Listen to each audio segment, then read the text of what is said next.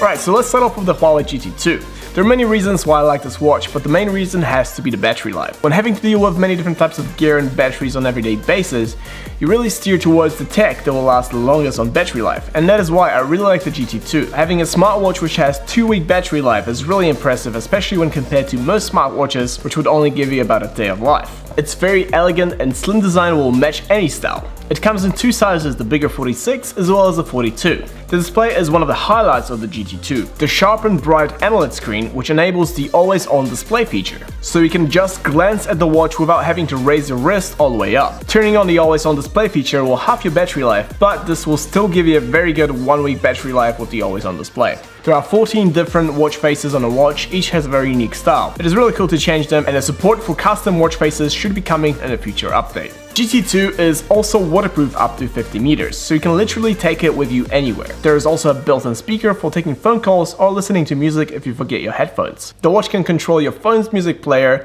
via Bluetooth. It also can control Spotify, YouTube, as well as podcast apps. And if you just want to take your watch with a music player without your phone, you can store up to 4 gigabytes of MP3 files on the watch's memory and connect your FreeBuds straight to your watch. The watch also has GPS which will track your runs accurately and you can preview them in the Huawei Health app. The Huawei Health app will also give you a lot of info on your health tracking, your sleeping patterns as well as additional settings. The GT2 also has a heart rate monitor with a lot of health apps such as sleep and stress tracking as well as a lot of workout modes. There are also apps that will give you breathing exercises, the compass, air pressure, weather, stopwatch timer alarms, and a handy flashlight. Unfortunately, there's no third-party app support. A really useful feature of the watch are the notifications, so you can quickly glance at who's trying to reach you or take a call.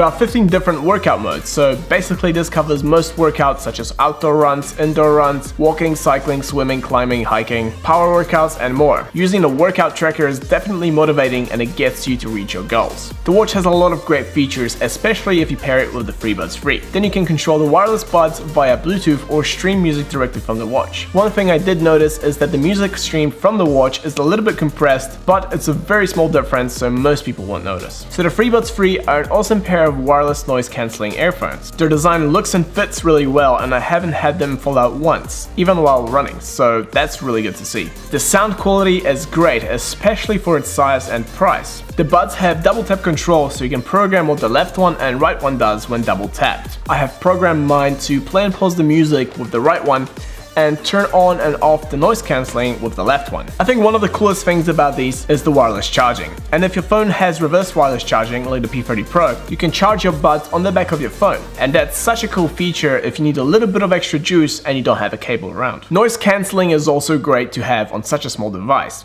especially in indoor environments. My editing PC is always very loud with all its fans, so when I turn on the noise cancelling, all the high frequencies of the fans are completely muted. The battery life of the buds is around 4 hours on a single charge and will give you around 20 hours of playback together with the charging case.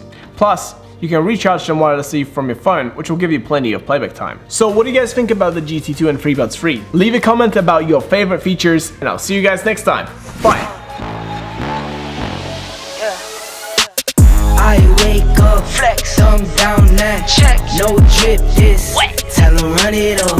No sleep, no rest. Might crash, might wreck. But first I stretch. Tell him run it Nine up. out of ten, roll through my hands, I'm by my lonely. Turn to a savage, now my baby wants to hold me.